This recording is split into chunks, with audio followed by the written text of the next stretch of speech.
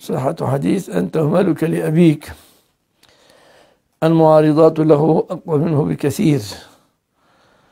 المعارضات له أقوى منه بكثير جدا. أنا شايف الجو كده في ظلام ما أعرفش.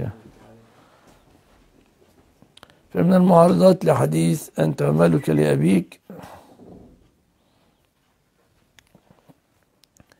قول الله تعالى ولأبويه لكل واحد منهما السدس مما ترك إن كان له ولد. فمفاده أن الله جعل للأب السدس. ولو كان أنت مالك لأبيك لورث الأب المال كله. وكذلك حديث رسول الله صلى الله عليه وسلم